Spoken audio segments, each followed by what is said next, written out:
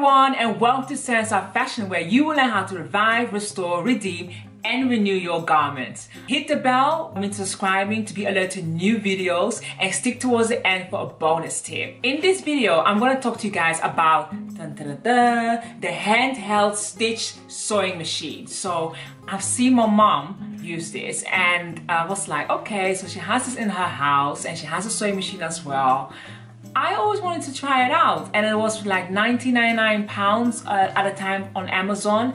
And I was like okay let me try it out because it's in between hand sewing and also having your own sewing machine. And this could be something really useful for you guys who you know don't want to want to spend so much money on buying a sewing machine or you just don't have the space or the time. And in the box when I had this there is no instructions. So I had to like Google for instructions. That's a negative part. I had this. This this this is all I have. Sending me to a website. I went to that website. The website website's not available. It was a Facebook page.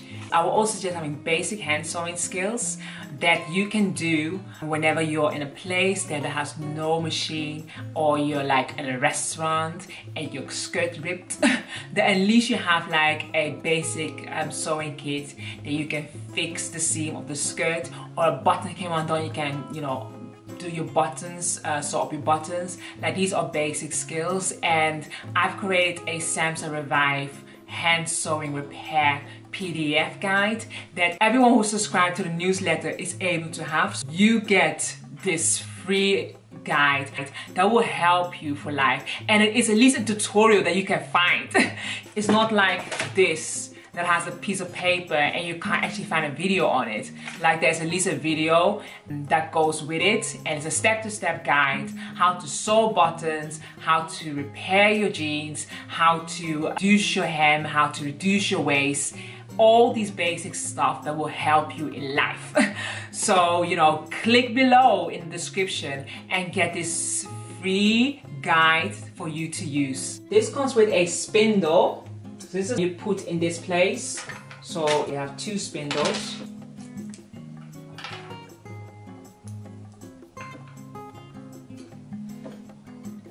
And it's for if you have a longer thread, so for long ones. So that's a spindle. We have three bobbins, a needle, spare needle, which is good.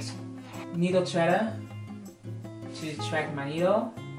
So three bobbin, spare needle, and a spindle. So then make sure that this is locked so you don't do it.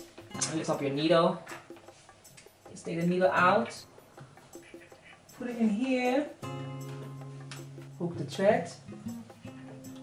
And the thread.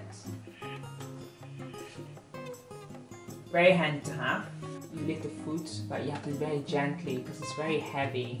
Whereas with a sewing machine, whoops, you see how, please make sure it's turned off by uh, pushing the slider in or else you can definitely, definitely seriously damage yourself. So it only needs like one bobbin and this is basically the on and off button. You turn the wheel to lift the needle. So it will go to from the bobbin to a hole here then goes to um, the sliders here. Glides straight into a underneath here then it goes into the needle and it's threaded from that direction. You lift the foot up please make sure it's off but it's just one thread. This is a starting point and then so it's this direction the opposite of the sewing machine I would say so I'm normally used to sewing like but here you have to go backwards. So that's something different. Don't pull it, let the machine do it because this, this is what happens when you pull. to let the machine for you. If you don't leave it, then it will unravel. So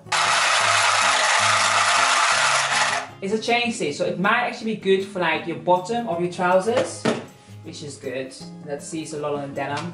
Definitely leave it because or else it's gonna unravel, unravel, unravel, unravel, unravel, unravel. That's all of that gone. Let me know in below comments if you're gonna buy this machine or if you decide to buy the sewing machine or if you're just gonna stick to hand sewing. I would like to know. Let me know. Comment below. And until next time, bye bye.